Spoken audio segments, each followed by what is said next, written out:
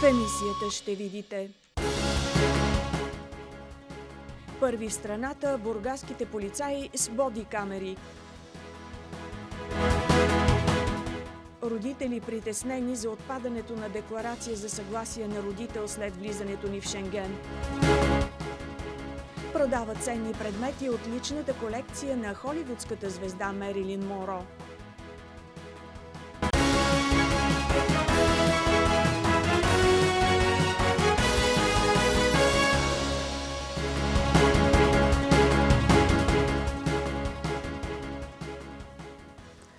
Добър вечер на 11 януари. Вие гледате новините на телевизия канал 0. Аз съм Пепа Костадинова. Декларацията за съгласие на родител за извеждане на дете в страна членка на Шенген може да отпадне след присъединяването на България във въздушното пространство. Това ще се случи, ако до края на март държавата не регулира законодателството.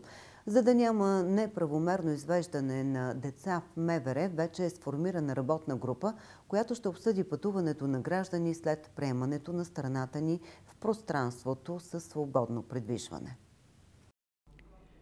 За родителите новината за влизането на нашата страна в Шенген по въздух и вода са повод за притеснения как при липса на паспортни проверки единият родител ще може да извежда детето извън пределите на България. Означава ли, че поради липса на паспортен и граничен контрол, един родител може да изведе дете без знанието и съгласието на другия? Как ще бъде контролирано това? Защото до сега се подписваха задължителни декларации. Летищата в страната ни вече са готови за преминаването към новия начин на работа. Според указанията, които вече са получили и ако не бъде променен законът, декларацията отпада – няма да се изисква декларация за съгласие от другия родител. Всъщност, чисто технически, заминавайки за страна от Шенген, не се пресича граница. Пътуването е аналогично на вътрешен полет в страната, обясни Георги Чепилски, изпълнителен директор на летище Бургас. От Министерството на вътрешните работи заявиха, че вече е сформирана работна група, която да обсъди необходимостта от евентуални промени в българското законодателство, свързани с приемането на страната ни в Шенген. Адвокати припомнят, че след промените в семейния кодекс от август миналата година, всеки родител може да поиска от съда забрана детето му да напуска страната. Ако единият родител има опасения за начина на извеждане на детето, поставянето му в риск при евентуално пътуване, може да подаде молба в районния съд по местоживеене на детето, с която да изложи своите притеснения и опасения. В момента законът не предвижда решение на въпроса какво се случва случва, ако след включване в шенгенското пространство единият родител реши да не информира, че детето му ще бъде изведено извън страната. Продължава програмата на Червения кръст, по която социално слаби бургазли получават топъл обяд от обществената трапезария на БЧК Бургас. Тя се намира на улица Оборище, номер 95. За старта на новата година хората в нужда в Бургас, които нямат средства, отново получават безплатен топъл обяд. Услугата е на БЧК Бургас и се предоставя на улица Оборище, номер 95 в обществената трапезария на БЧК. Безплатният топъл обяд влизат супа, основно ястие и десерт, всеки работен ден без празнични и почивни дни. Хората получават храната в обществената трапезария на адрес град Бургас, улица Оборище, 95. Продължава през месец януари безплатната обществена трапезария, тъй като месец януари е един много тежък месец от гледна точка на битови сметки.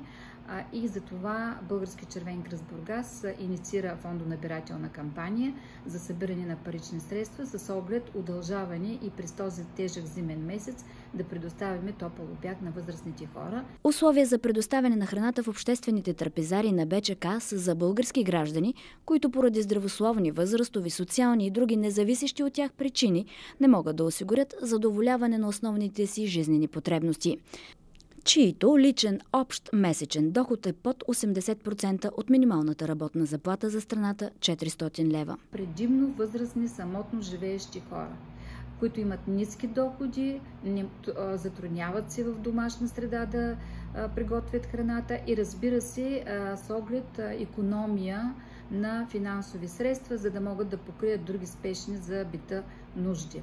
Ползващите услугата отговарят поне на два критерия. Страйно намалена работоспособност над 50%, пенсионери над 65 години, лица живеещи сами, лица навършили възраст за пенсиониране, но не придобили право на пенсия, безработни лица, които не получават обещетение от бюрата по труда. Лица, намиращи се в затруднено материално положение поради заболяване на член от семейството. Лица, които не могат да приготвят сами храната си вкъщи. На база проведено национално съвещание с ръководният състав на МВР с заповета на директора на областна дирекция на МВР Бургас, старши комисар Емил Павлов, контролът по отношение провеждането на инструктажите на екипите, застъпващи в наряд, вече е засилен. Акцентира се върху постоянното използване от страна на полицейските служители по време на работа на така наречените боди камери. Целта на използваните камери е както за лична безопасност на служителите на реда при осъществяване на функционалните им задължения, така и за даване на възможност за контрол над полицейските действия при осъществяване правомощията на служителите от страна на ръководния състав, съобщиха от прес-центъра на ОД на МВР Бургас. Полицията уведомява гражданите, че взаимоотношенията им с полицейския състав, пряко ангажиран с охраната на обществения ред, ще бъдат документирани чрез използваните боди камери. Записващото устройство се поставя на един от двамата полицаи във всеки патрул, като се включва при получаването на сигнал и то след пристигането на екипа на конкретното място. Във всеки един момент действията на полицейските служители могат да се наблюдават онлайн – като това се извършва в оперативно-дежурния център на Бургаската полицейска дирекция. От света американско издание публикува разкрития, които показват признание на бившата президента на САЩ Доналд Тръмп пред председателят на Европейската комисия Урсула фон дер Лайен. В частен разговор той заявява, че Америка няма да окаже помощ на Европа в случай на нападение. Американското издание Политико публикува разкрития на еврокомисаря по вътрешен пазар Тиери Бретон. Политика твърди, че преди 4 години Доналд Тръмп в частен разговор с председателя на Европейската комисия Урсула фон дер Лайн е предупредил, че САЩ няма да помогнат на Европа в случай на нападение. Европейският комисар Бретон твърди, че е присъствал на този разговор при закрити врата в коларите на Световния економически форум в Давос през 2020 година, когато Тръмп беше президент на САЩ. Европейският политик напомня, че Доналд Тръмп е казал, че НАТО е мъртво и САЩ ще се отеглят от Северноатлантически алианс. На тази среща ръководителят на Белия дом опрекна Германия и други европейски страни, че не плащат вноски в бюджета на блока в пълен размер. Тиери Бретон предупреди, че в случай на втора изборна победа на Тръмп през ноември тази година Европейският съюз ще остане без подкрепата на Вашингтон. След месеци в неизвестност Навални се появи усмихнат и шегувайки се. Усмихнат и шеговито настроен Алексей Навални се появи на съдебно заседание чрез видеовръзка от арктическата наказателна колония Полярен вълк, където излежава 19-та годишна присъда. Руският опозиционен лидер за първи път беше показан пред камера след прехвърлянето му в отдалечения затвор, който се намира зад полярния кръг. Руски новинарски издания пуснаха изображения на Навални в черно затворническо облекло с прическа в предаване на живо по телевизията от наказателната колония с специален режим в селището Харп в Ямало-Ненецкия автономен окръг, който е на около 1900 км североизточно от Москва.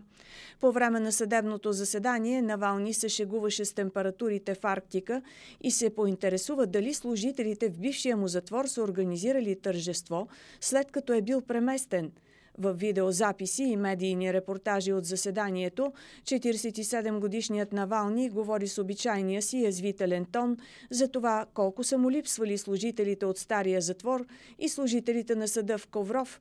Той се пошегува и с суровия затвор в далечния север на Русия. Ценни предмети от личната колекция на холивудската звезда Мерилин Моро ще бъдат продадени на търг през месец март. Колекцията обхваща различни аспекти от живота и кариерата, включително рокли, специално изработено червило и снимки на великолепната Моро от снимачните площадки. Най-скъпият предмет в колекцията е черна вечерна рокля, носена по време на снимките на филма 7 годишен сърбеж през 1955 година. Очаква се цената на секси туалета да достигне до 200 000 долара. На търга ще бъдат предложени и предмети, принадлежали на основателя на списание Playboy Хю Хефнер, който почина през 2017. Един от другите туалети на Моро, който се предлага на търг, е сатено лавандулово трико, което тя носи за снимка в декемврийския брой на списание Life от 1958 година. Колкото до малката черна рокля, тя е с деколте, украсено с букети от цветя, от плат и шифонени пояси в розово, лавандулово и кремово. Роклята е с деколте, украсено с букети от цветя от плат и шифонени пояси в розово, лавандулово и кремово. Цената на тази рокля пък може да достигне 40 000 долара. В търга са включени и оригиналната програма и квитанция за билет, които Мерили Монро е получила, когато е присъствала на тържеството по случай рождения ден на бившия президент Джон Кенеди през 1962 година.